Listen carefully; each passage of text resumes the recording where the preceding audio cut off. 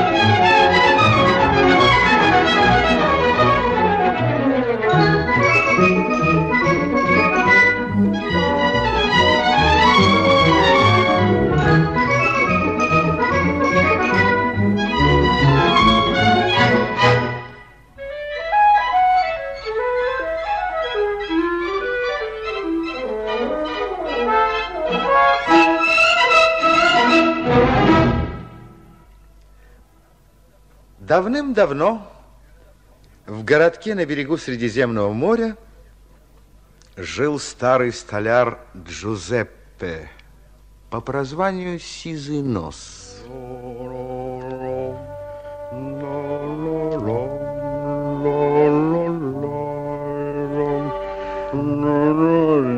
Однажды ему попалось под руку полено. Обыкновенная полено для топки очага в зимнее время. Неплохая вещь полено, очень хорошая вещь. Из нее можно смастерить что-нибудь вроде ножки для стола.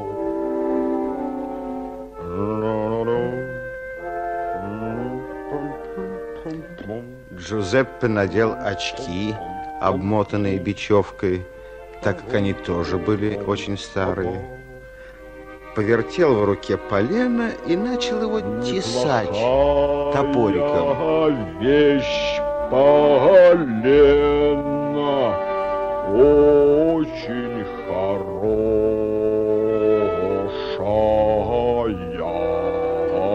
вещь.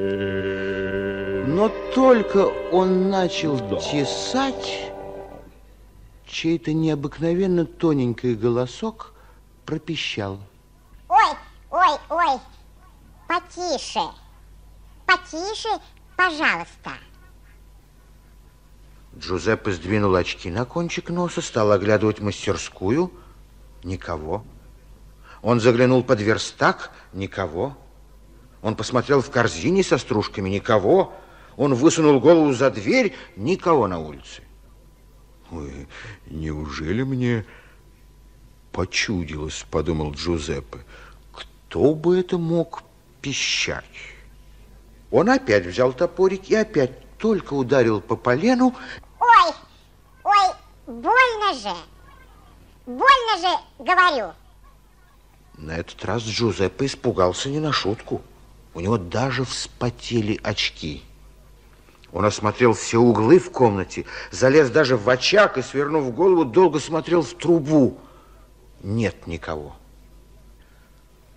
Может быть, я э, выпил чего-нибудь неподходящего, и у меня звенит в ушах, размышлял про себя Джузеппе. Нет, сегодня он ничего неподходящего не пил.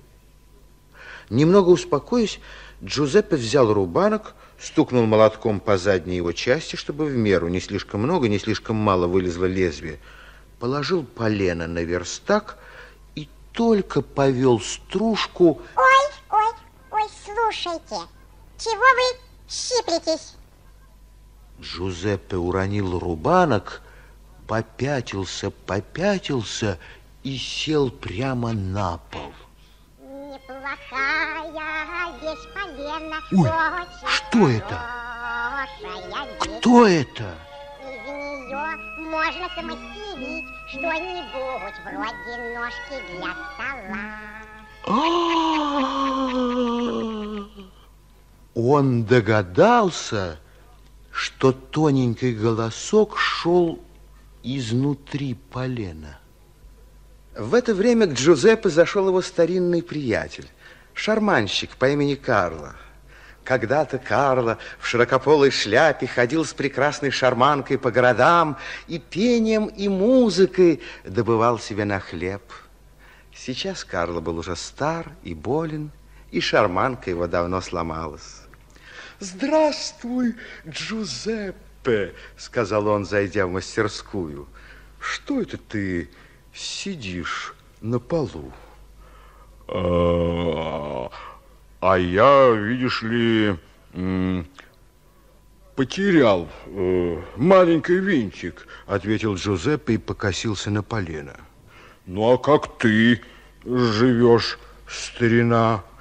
Плохо, ответил Карло. Все думаю, чем бы мне заработать на хлеб. Хоть бы ты мне помог, посоветовал бы что-нибудь. Чего проще? Видишь, вон оно лежит на, на, на верстаке по, полено. Превосходное полено. Возьми-ка ты это полено, Карла, и отнеси домой. Ответил Карло. А что ж дальше-то? Ну, принесу я домой полено, а у меня даже и очага в коморке нет. Я тебе дело говорю, Карла, а ты возьми ножик, вырежь из этого полена э, куклу, научи ее говорить всякие смешные слова, петь и танцевать, да и носи по дворам. Заработаешь на кусок хлеба и на стаканчик вина. Браво, браво, прекрасно придумано, сизый нос. Джузеппе опять затрясся от страха, а Карло удивленно оглядывался, откуда голос. Ну, спасибо, Джузеппе, что посоветовал. Давай, пожалуй, твое полено. Тогда Джузеппе схватил полено и поскорее сунул его другу. Карло взял полено под мышку и пошел домой. До свидания, Карло. Неплохая вещь полена, очень хорошая вещь.